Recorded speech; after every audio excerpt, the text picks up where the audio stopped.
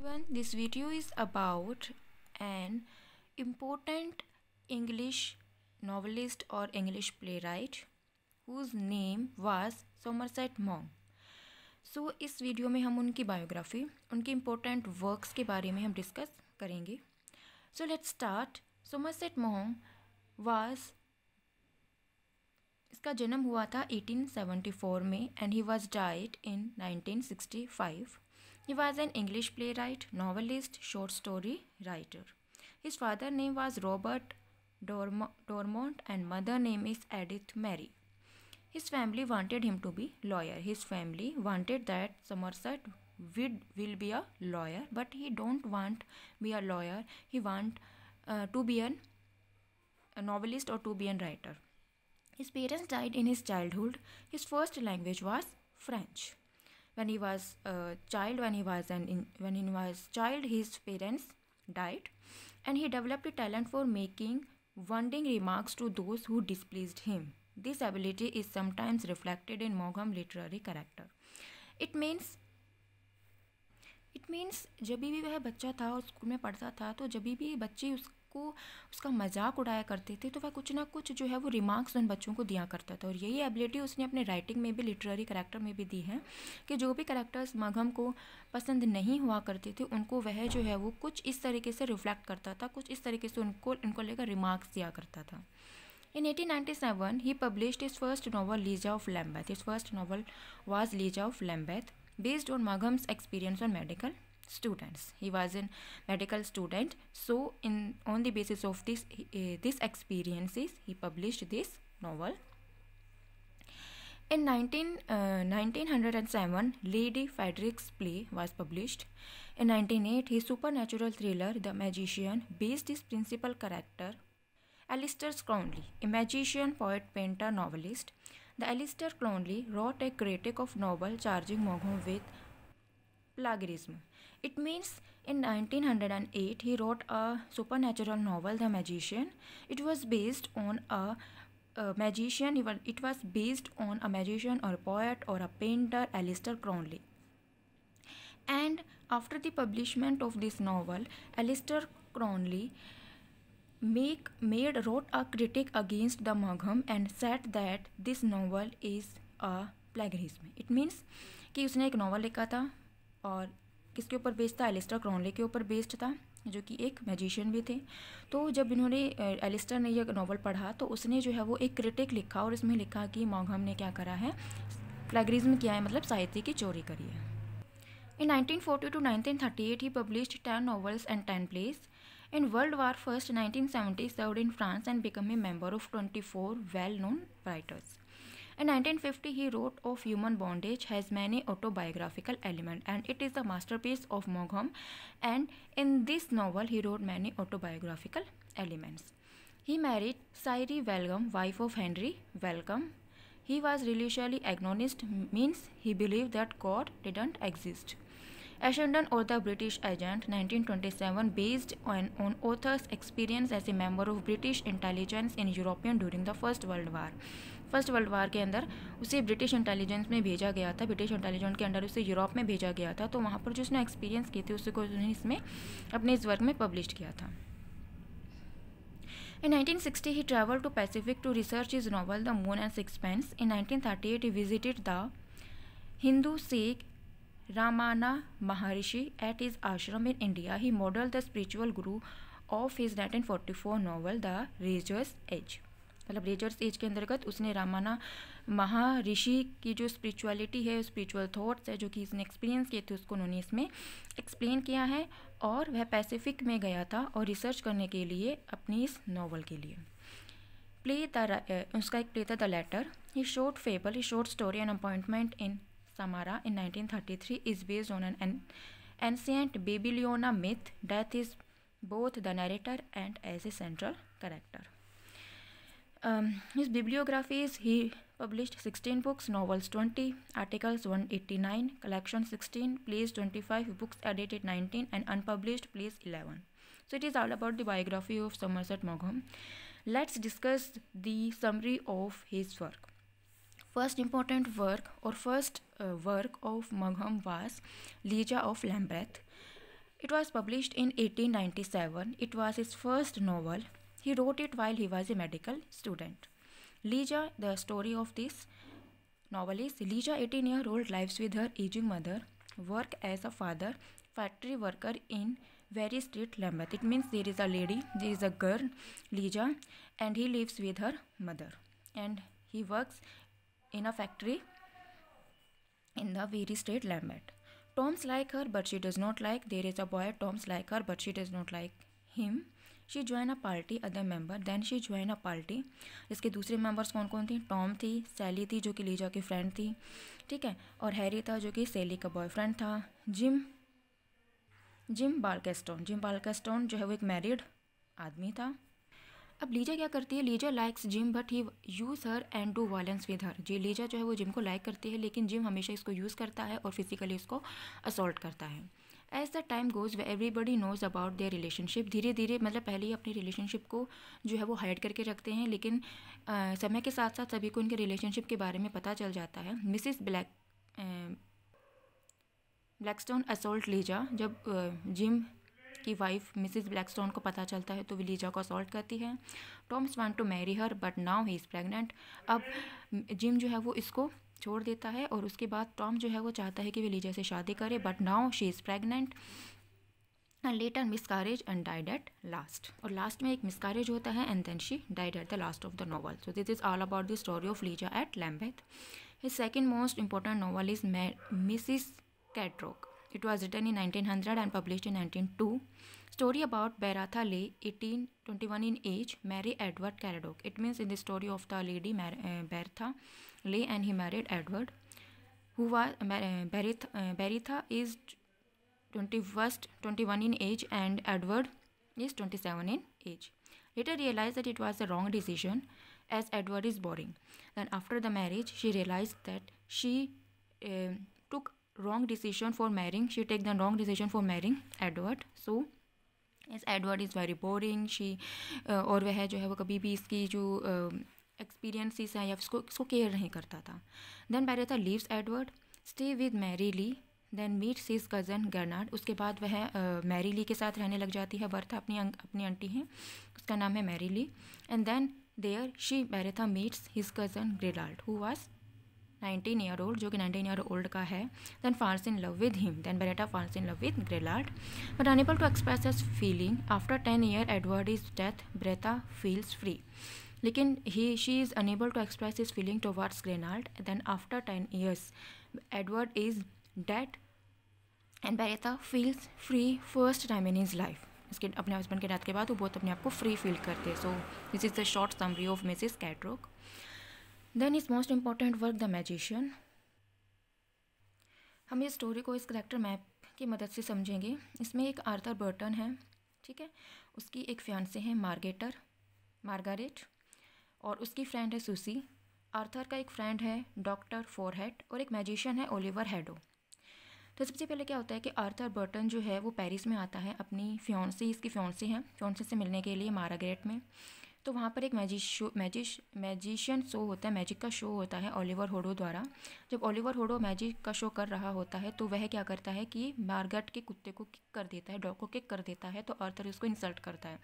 तो वह, तब वह ये जो है वो ओथ लेता है कि वह मार्गेट को सिड्यूस करेगा अगेंस्ट ऑर्थर इसको डिफेक्ट करने के लिए। So he married the Margaret, उसके बाद ये से शादी कर लेता है, और दोनों जो है वो दूसरी जगह पर जाकर रहने लग जाते हैं। But Susie then Susie falls in love with Arthur पर Susie is not able to express his feeling towards Arthur then उसके बाद आर्थर को ये रियलाइज़ होता है कि Margaret is not safe and there is some magic on on her that's why he follows her and at the last उसे यह पता चलता है कि मार्थर जो है मार्ग्रेटर जो है मार्गरेट जो है, वो क्या है, ओलिवर से शादी तो उसने कर ली है but she is not happy with him और उसके बाद वह क्या करते हैं कि एक पैलेस में जाते हैं, जहाँ पर उन्हें पता चलता है कि मार, मार्गेटर जो है वो मर चुकी है। ओलिवर ने मार्गेटर को मार दिया है। अब वो क्यों मारा है ये जानने के लिए वह डॉक्टर फोरहेड के पास जाते हैं। आर्थर, सूसी, ये डॉक्टर फोरहेड फोरहेड के पास जाते हैं कि वह मार्गेट, मार्गारेट के होस्ट को दोबारा से बुलाए ताकि वह अपनी डेथ की सच्चाई के बारे में बता सके। तब वह जो है, वो क्या करते हैं, ये तीनों के तीनों डॉक्टर आर्थर और सूसी जो हैं, वो ओलिवर के पैलेस में जाते हैं, जहाँ पर एक जो गेट कीपर है, वो ये बताता है कि ओलिवर जो है, वो घर के अंदर ही है तो आर्थर ओलिवर को मार देता है और एट द लास्ट उन्हें ये पता चलता है कि ओलिवर जो है, वो एक, जो है, वो मैजिक कर रहा है, एक मैजिक जो है, वो तंत्र मंत्र की विद्या जो है, वो सीख रहा है, जिसके लिए उसने मार्केटर को सेक्रीफाइस कर दिया। और इसकी मदद से इस मैजिक जो वो मैजिक कर रहा है, जो तंत्र मंत्र कर रहा है, यह इतना पावरफुल है कि मरी हुई को भी ज़िंदा कर सकता है। तो आर्थर ने सोचा कि ओलिवर दोबारा से ना ज़िंदा हो जाए तो इसलिए वह उसके घर को जो है वो फायर में सेट आउट कर देता है। So it is all about the story of the magician the next important work is the moon and the sixpence it publish in nineteen nineteen told in episodic form by the first person narrator the central character is Charles Strickland Charles Strickland इसका main character है, एक middle age English stock broker है। वो abandon his wife and children to pursue his desire to an artist वह क्या करता है? Artist बनना चाहता है तो इसलिए that's why his abandon his wife and the children story based on the life of the painter Paul Gauguin Paul Gauguin के ऊपर बेस्ड है ये story the most important work and the masterpiece of Somerset Maugham is on human bondage. It, the, this work was published in 1950 and it was his masterpiece. Autobiographical in nature, it is autobiographical. Earlier, earlier its title was Beauty from Ashes, then taken a title from Spo, Spino, uh, Spinoza's Ethics. पहले इसका title था beauty for ashes इस story को हम इस character sketch character map जो है वो उसकी मदद से समझेंगे इसके अंदर एक लड़का होता है फिलिप जिसके मम्मी पापा जो है वो बचपन में मर जाते हैं तो वह अपने आंटी और अंकल के साथ रहता है लुइसा और विलियम्स के साथ। लुइसा फिलिप्स को बहुत ज़्यादा चाहती है, लेकिन फिल, विलियम्स इसको इतना प्यार नहीं करता। तो फिलिप्स जो है वो विलियम के लाइब्रेरी से बुक्स पढ़ने लग जाता है, क्योंकि वह इनके बंधन से आज़ाद होना चाहता है। उसके बाद फिलिप्स जो है वो जर्मनी जाता है, और जर्मनी जाकर वहाँ पर कुछ स्टडी करता है और दोबारा से वह जो है वो अपनी अंकल और आंटी के पास आ जाता है। इसके अंकल जो आंटी है वो ये चाहते हैं कि वह जो है वो लंदन में अप्रेंटिसशिप करे मेडिकल की। लेकिन वह लंदन जाने के बजाय पेरिस चला जाता है, जहाँ पर वह फैनी प्राइस से मिलता है। पेरिस में वह फैनी प्राइस से मिलता है। Fanny Price loves Philips but Philips does not loves Fanny that's why she committed suicide ये सुसाइड कर लेती है। उसके बाद जब वह जर्मनी, पेरिस और सभी जगह घूम लेता है तो वापस भी इंग्लैंड आ जाता है और अपने जो फादर इसके जो फिलिप्स के फादर थे, वो मेडिकल फ़ील्ड में थे तो अपने फादर के फुटस्पैट को फॉलो करता है and then he took admission in the medical field तो वहाँ पर जब वो मेडिकल फ़ील्ड में एडमिशन लेता है तो वहाँ पर एक जो वो होता है, ढाबा होता है या फिर जो जो मिलरेट है, वो एक वेट वेटरेस है एक रेस्टोरेंट में और जो वह मिलरेट से फिलिप जो है वो मिलरेट से Philips falls in love with Mildred but Mildred does not love him Mildred just use Philips for her own अपनी खुद की जो है वो इच्छाओं को पूरा करने के लिए, पैसे वगैरह के लिए फिलिप्स के पीछे पड़ती है और at the end she married another person then Philips feel so many so much disappointed and he बहुत ज़्यादा टूट जाता है। देन वह अपनी इस रिसेंटमेंट uh, को डिसअपॉइंटमेंट से ओवरकम करने के लिए he start flirting with Nora and Nora also loves Philip but in at the at the bottom of his heart he love Mildred after two three month she returns to Philips and set that कि जो इसके साथ वह गई थी वह आदमी पहले से मैरिड था और उसने शादी करने से मना कर दिया and she is not pregnant then Philips Nora को छोड़ देता है और मिलरेड की जो है वो ज़िम्मेदारी लेता है कि वह इसके साथ ही रहेगा। देन नोरा क्या करती है कि नोरा देन मिलरेड क्या करती है? एक हैंनरी लड़का होता है, उस हैंनरी लड़के के साथ जो है वो दोबारा से भाग जाती है और फिलिप्स को छोड़ देती है। तो फिलिप्स बहुत ज़्यादा टूट जाता है कि दूसरी बात उसे जो है वो धोखा मिला है। देन ही उसके बाद वह क्या करता है कि एक स्टॉक में स्टॉक एक्सचेंज होता है, वहाँ पर अपने पैसे लगाता है, लेकिन वो स्टॉक डूब जाता है। तो फिलिप की मदद करता है थ्रोप ओथनी। थ्रोपे ओथनी इसकी मदद करता है ही हेल्प्स फिलिप इसकी मदद करता है कि भाई वह स्टॉक एक्सचेंज है जो बिल्कुल ही डेस्टिट्यूट वह हो चुका है फिलिप उसको ओवरकम करने के लिए। अब थ्रोप की जो बेटी है वो है सैली सैली सैली जो है वो लव करते हैं फिलिप को सडनली धीरे धीरे जो है वो वह भी सैली को प्यार करने लग जाता है, फिर एट द एंड मिलाड दोबारा से उसके पास आती है, लेकिन अब फिलिप के मन में इसके लिए कोई भी भावना नहीं है देन ही लीव्स मिलाड।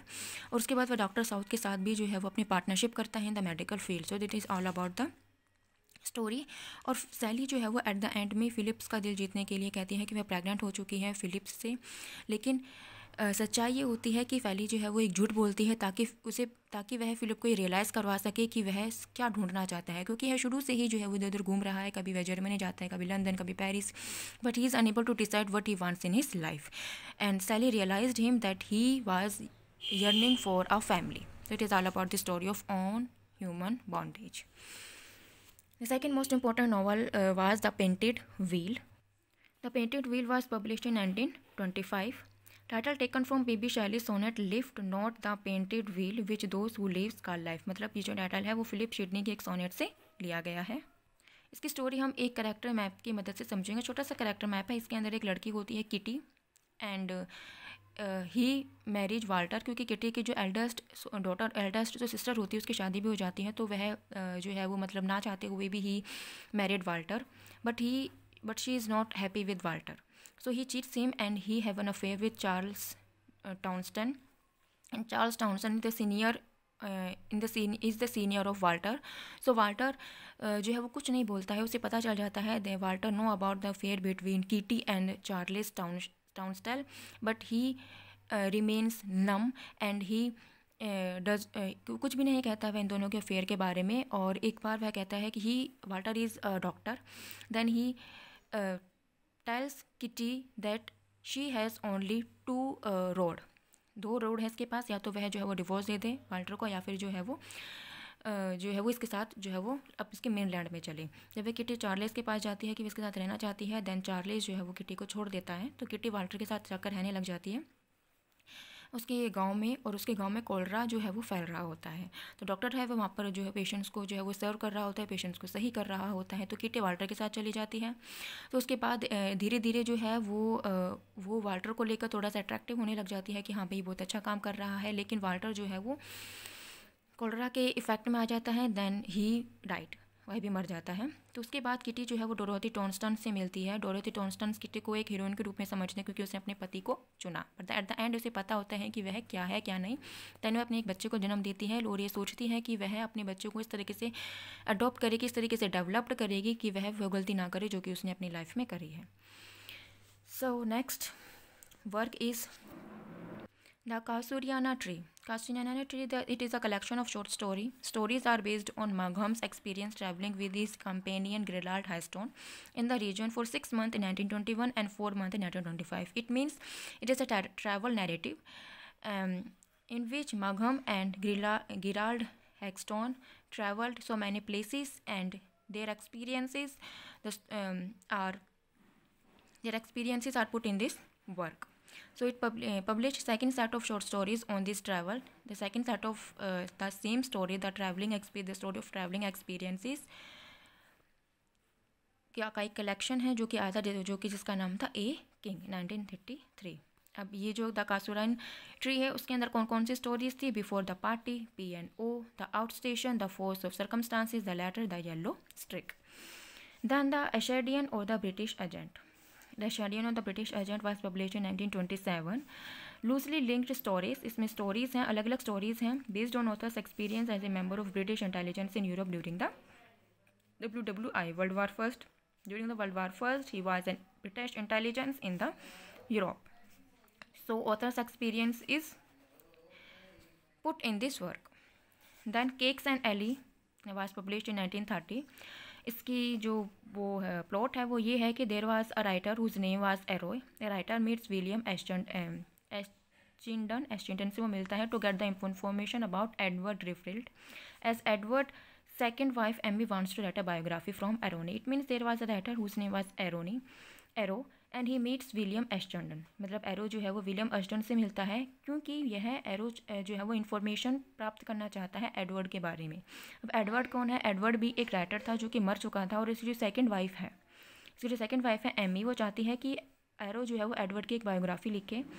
सो इन्फॉर सो इस बायोग्राफी को लिखने के लिए to get the more information he meets the William then Williams अपने पास्ट एक्सपीरियंस को रिकॉल करता है एंड उसे पता चलता है कि Edward was a good guy and he has his first wife name was Rosie but Rosie cheat him and he she eloped with Kemp but Ash William जो Ashenden हैं but Williams hide Rosie's information from Alroy as he does not he William does not want to defame Rosie that's why then narrow corner वही publish in 1932 it is about doctor Saunders a doctor in Takaka return in home China इसका plot है कि एक doctor है doctor स्टोंडन्स वह टकाना में जो है वो किसी को इलाज करने के लिए आते हैं और अब अपने दोबारा अपने देश जो है वो चाइना जाना चाहते हैं।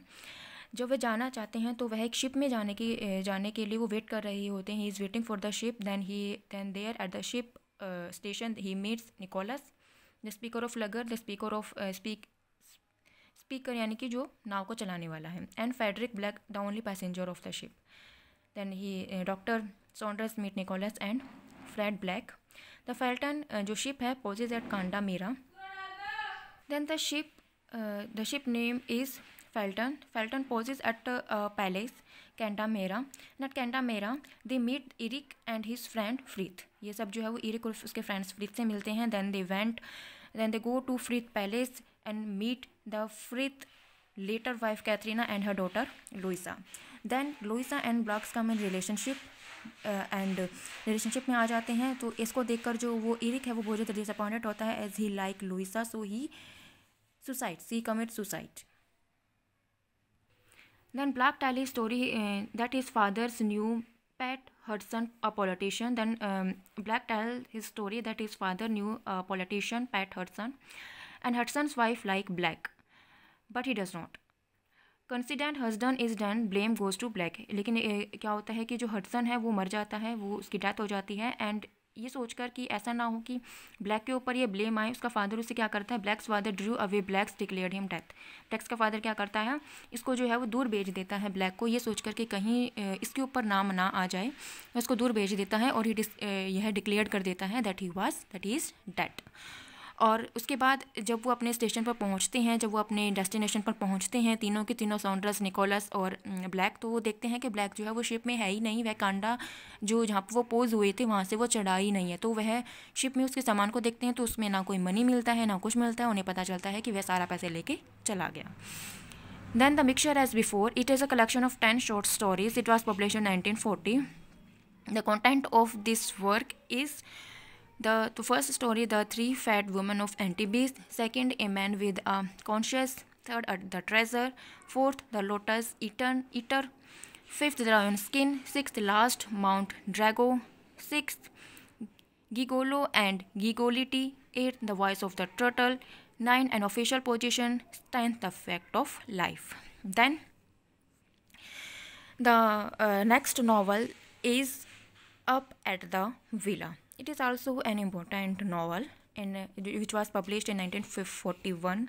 So with the help of this character map we can अब हम इसकी करेक्टर मैप की मदद से जो है वो इसकी स्टोरी के बारे में जानेंगे there is a lady there is a beautiful lady Mary Panton and he Mary Matthew but he died and he and she become a widow उसके बाद क्या होता है कि वह जो लिनोड के कपल है लिनोड कपल है ठीक है, वह ऑफ़र करते हैं they offer Mary Panton a villa and he she accepted and she lives in this villa very comfortably she drives and she make parties वह बहुत ज़्यादा खुश हो जाती है कि उसे विला मिल गया है।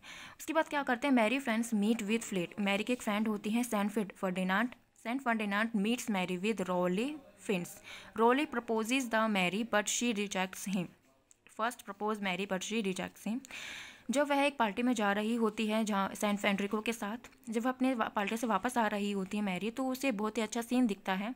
तो then she stops to see that scene and at the palace she meets with Karl Richard Karl Richard she meets with Karl Richard Karl Richard is it twenty three age old art students and then they came at the villa and and they both come to the villa and they both drunk both meet and sex and Richard threaten her Mary kill him with revolver then जो Richard है वो उसको उसको threaten उसको डराने लग जाता है पैसे वगैरह के लिए then she put out revolver in her pockets and he killed Karl Richard becomes very frightened and she becomes very threatened to uh, because she does not know what uh, she will do next then rolly fint came to help her come to help her and she and he put the body in proper position वह जो है वो क्या करता है, उस body body को जो है वो डग कर देता है मिट्टी के अंदर।